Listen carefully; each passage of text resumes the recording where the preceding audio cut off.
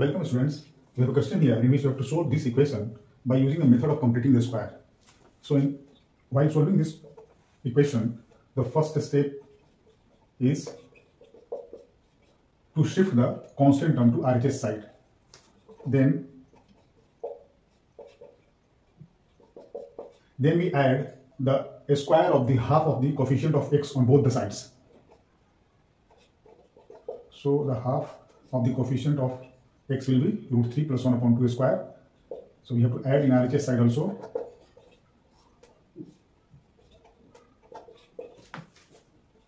Now look here, we can write this as 2 into x root 3 plus 1 upon 2 plus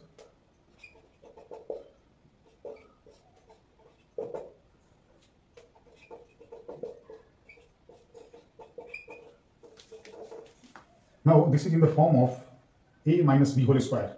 So we can write x minus root 3 plus 1 upon 2 whole square is equal to a plus b whole square is a square plus b square plus 2ab minus 4 root 3 upon 4.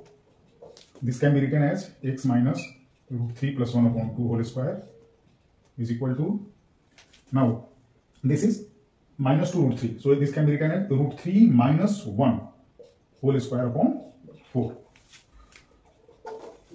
So x minus root 3 plus 1 upon 2 whole square is equal to root 3 minus 1 upon 2 whole square.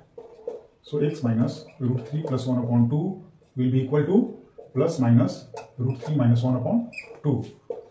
So x will be equal to root 3 plus 1 upon 2 plus root 3 minus 1 upon 2 which will be equal to root 3 plus 1 plus root 3 minus 1 upon 2.